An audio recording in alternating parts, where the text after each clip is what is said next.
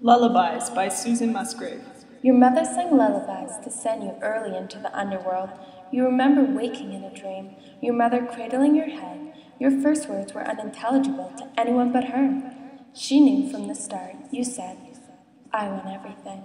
You're still the same. You've lived that way, wanting even more. And now your mother is dead. The boy you once were picks up the pistol he last fired the night your father was shot in the head. The boy you'll always be fires at his lonely reflection and weeps when the mirror does not break. This is your power, to prepare for death and send people you love into that other place. So it was when your mother sang, Don't say a word, preparing you for sleep. How did it so soon become morning?